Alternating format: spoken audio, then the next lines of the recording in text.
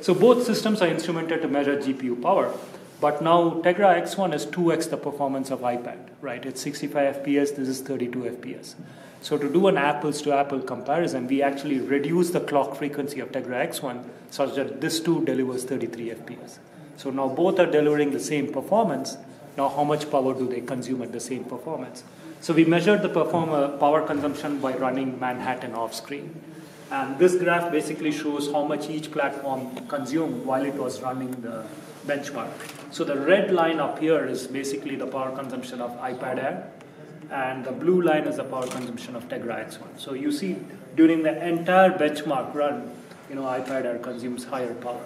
There's a lot of variations, and you'll see Tegra X1 is much more stable in its power consumption, while iPad Air goes up and down. the most important thing to notice here is the average power consumption you'll see Tegra X1 consumes 1.5 watts and uh, iPad Air consumes 2.7 watts.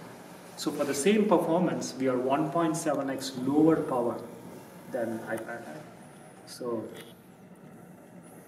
if you were to say hypothetically design a tablet that delivers iPad Air performance, we'll give you much longer battery life for that performance. Or you could design a tablet that delivers the performance of you know, 2x the performance of Shield tablet and still get a very good uh, battery life. So overall, Tegra X1 delivers 2x the performance of you know, competing processors, the highest in competing processors, and almost 2x the power efficiency of Tegra K1 and uh, other